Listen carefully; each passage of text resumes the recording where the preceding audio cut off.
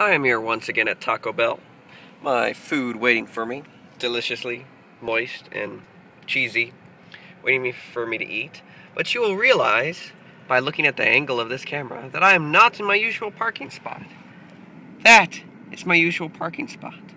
This guy, Mr. Blue Motherfucking Pickup, took two parking spots. He could have been in this one. Could have been that one. He could have rightfully proclaimed mine. He could have slid into that one and been like, this is mine. You don't get it, even though it's your usual, but I have no idea.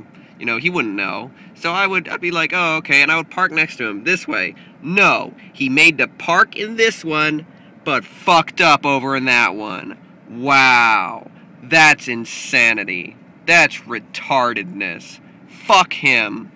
Not like I'd say that to his face, because he's probably a big badass and he'd probably beat my ass.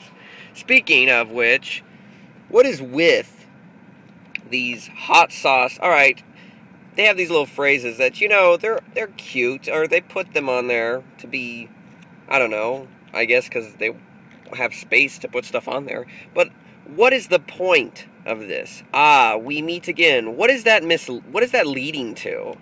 what is what is the derivative that that is turned to? What is the conversation that this takes place in? I have no idea. Where's another one? I have like 40 of them in here. It's alright. Oh, it's the same one. Help, I can't tell. Wait, can't see that. Help, I can't tell where I am. It's dark. And I can hear laughing. That just sounds satanic. What does that mean? That sounds scary. I'm disturbed by that one. Will you scratch my back? What does that even mean? Why are these sauce things telling me? This is terrifying. I think that's it. Oh, chip. So yeah, that's it. I just hate this blue pickup, bitch. Good night, America.